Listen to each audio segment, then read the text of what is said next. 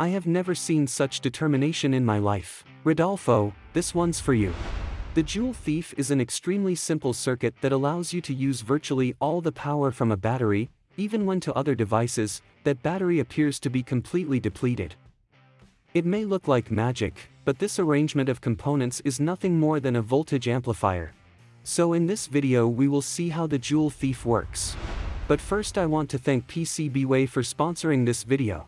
With PCBWay, bringing your projects to reality is easier than ever, as they offer a wide variety of PCB prototyping services for all your needs. Imagine this, you design the heart of your project using their multiple PCB options, then you let their expert team assemble the components, and finally you create the housing or any mechanical part needed with their CNC and 3D printing services, all in one place.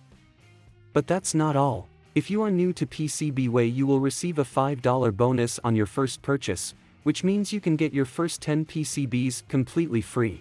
Don't miss out on this amazing offer, go check out their website right now. To understand how it is that you can revive a battery with the Joule Thief, we must first talk a little about how batteries work. These are energy sources whose voltage depends on a chemical reaction, so they should theoretically generate a consistent voltage over time that depends only on the chemical elements that compose it. However, as the energy stored in them is used, the reactions no longer occur with the same efficiency and its voltage begins to decay slightly, although it always maintains a relatively constant value over time. Because of this, when the voltage of the batteries is reduced below the minimum voltage required by a device to operate, it will not turn on or will do so with a lower power, which leads us to conclude that the batteries are no longer useful or are discharged. However, it is highly likely that there are unreacted chemical elements inside, which means there may be unused energy. Incidentally, energy's unit of measurement in the International System of Units is the joule, this being the reason behind the name of this circuit. There are multiple variations of the Joule Thief as a circuit, but we will focus on one of the simplest, which consists of only five electronic components.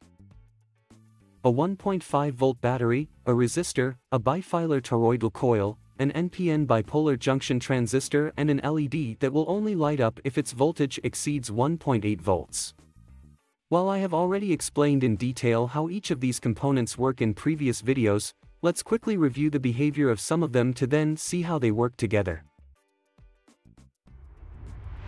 First we have the resistor.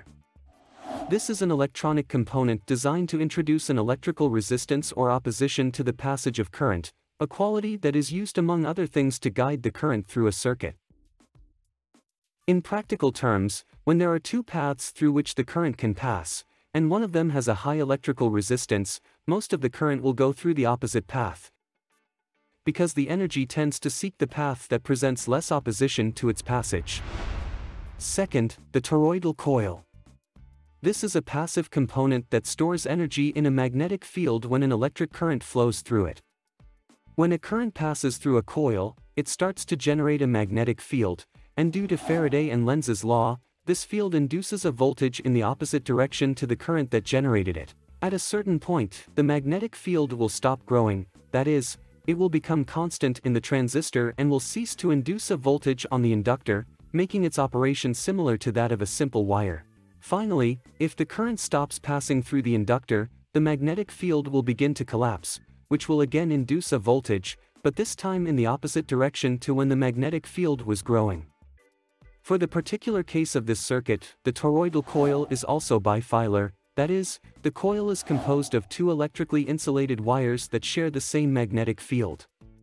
This way, when the magnetic field varies, a voltage is induced in both wires. And third, the NPN bipolar junction transistor, this component has three terminals, the collector, the emitter and the base. In simple terms, we can imagine this component as a switch for the current, in which the base controls the amount of current that can pass between the collector and the emitter. In this way, if there is no current in the base, the connection between the collector and the emitter acts as an open switch, while if current passes through the base, the connection between the collector and the emitter acts as a closed switch that does allow the passage of current, which also increases proportionally to the current reaching the base, at least within a certain range of values. Now that we have a better understanding of each component, Let's look at how they all work together to create a joule thief. When connecting a battery and running the circuit, the current could take two possible paths. Path A, which goes through the resistor, the inductor and the base of the transistor, or path B, which goes through the inductor and is further subdivided into two possible options, the collector of the transistor or the LED. As of now, to facilitate the understanding of the circuit, we will ignore the effect of the toroidal inductor. If we consider only the first component of the path on the left, which would be the resistor, we can assume that most of the current will go through path B, given the practically zero resistance of the copper wire. However, once we get to the transistor and the LED, we notice that the current does not go through either of the two options ahead, since the battery does not have enough voltage to turn on the LED, and the transistor has no current at its base, which means that it is behaving like an open switch. Understanding this, path A is actually the only path through which current can initially pass. Thus, the battery causes a small current to begin flowing through the resistance and the base emitter junction, which in turn causes the transistor to begin conducting current between the collector and the emitter, such that current begins to flow through both paths. However, there is still not enough voltage to turn on the LED, or a reason for the current to attempt to follow the path that would allow it to operate. It is at this point that the inductor comes to solve all our problems. While we already looked at what the behavior of a bifilar toroidal inductor was, the way this is connected in a joule thief is also of great importance. In particular, the construction of the toroidal coil is made in such a way that the current passes through it in opposite directions with respect to each other, and because of this, the voltage induced in both wires by the varying magnetic field will also have opposite directions. Furthermore, since most of the current passes through path B, this path will be the one to control the behavior of the magnetic field. So, starting with the circuit off, as the magnetic field begins to build up in the inductor due to the passage of current through path B, a voltage will be generated in the opposite direction to the passage of current in this path, and a voltage that is added to that already existing in the path A.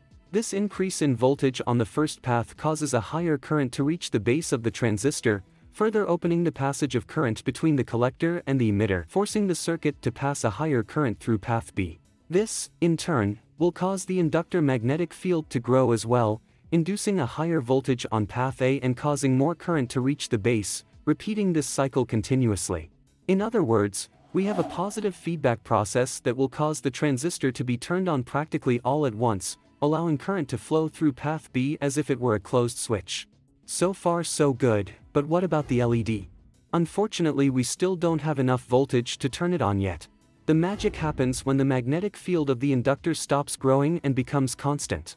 When this happens, a voltage is no longer induced on both windings of the toroidal coil, which causes the current reaching the base of the transistor to stagnate, causing it to return to its initial state. When this process occurs, the junction between the collector and the emitter will no longer allow the current to pass freely as it did during the feedback process, which means it no longer behaves as a closed switch. Because of this, the magnetic field will begin to reduce its size, again inducing a voltage on the windings, but now with the opposite sign. In other words, now the voltage will go in the opposite direction to the passage of current from path A, and will boost the voltage of path B.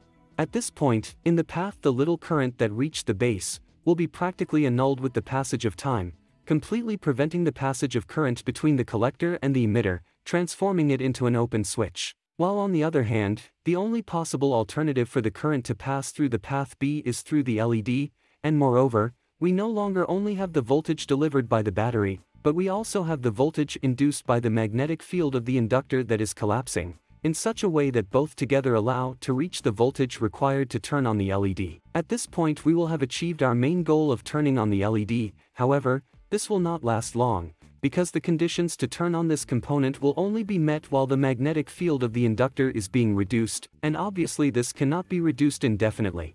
Once the inductor loses its entire magnetic field, it will return to the initial state of the circuit, such that the LED will turn off and a small current will pass back through the base of the transistor, repeating the whole cycle again.